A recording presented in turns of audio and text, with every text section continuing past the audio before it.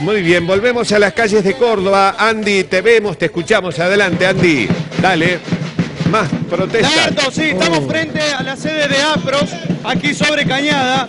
En este momento están eh, los trabajadores mm, del CEP nucleados en el Sindicato de Empleados Públicos reclamando por el aumento que han recibido en, eh, los, en la facturación de APROS por el aumento justamente de la cuota por agregar a familiares, o sea, el aumento que los afiliados han recibido por sumar adherentes. El caso es, por ejemplo, el suyo, señora, que pagaba 260 pesos y ahora paga 740. 740, sí.